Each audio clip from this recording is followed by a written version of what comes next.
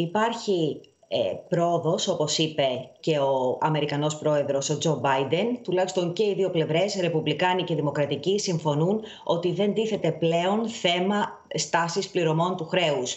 Οι συζητήσεις είναι σε εξέλιξη. Σύμφωνα με διάφορα ειδησιογραφικά πρακτορία ε, βρίσκονται κοντά σε συμφωνία. Υπάρχει συμβιβασμό σε κάποια βασικά σημεία όπως για την αύξηση, ότι και οι δύο πλευρές συμφωνούν στην αύξηση του ανώτατου ορίου του χρέους, ότι ο περιορισμός των δαπανών θα είναι για δύο χρόνια, δεν έχουν ωστόσο συμφωνήσει στο ποσό που θα μειωθούν οι δαπάνες. Αυτό είναι μια νίκη των δημοκρατικών, διότι οι ρεπουμπλικάνοι αρχικά θέλανε 10 χρόνια, στα 10 χρόνια ε, η διάρκεια του περιορισμού των δαπανών, μετά τα κατέβασαν στα 8, μετά στα 6, τώρα πήγανε στα 2.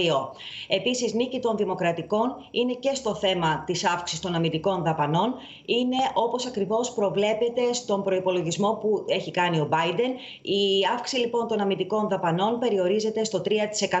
Επίσης, ε, προβλέπεται σε μια πιθανή συμφωνία η αναβάθμιση του ηλεκτρικού δικτύου της Αμερικής και η επιτάχυνση της διαδικασίας αδειοδότησης σε προγράμματα που αφορούν τα ορυκτά καύσιμα και στην κατασκευή αγωγών, πράγμα που υποστηρίζουν οι Ρεπουμπλικάνοι.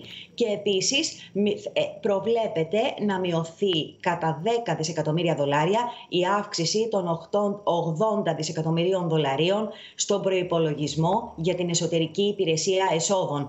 Αυτό είναι, εδώ έκανα λίγο πίσω η δημοκρατική.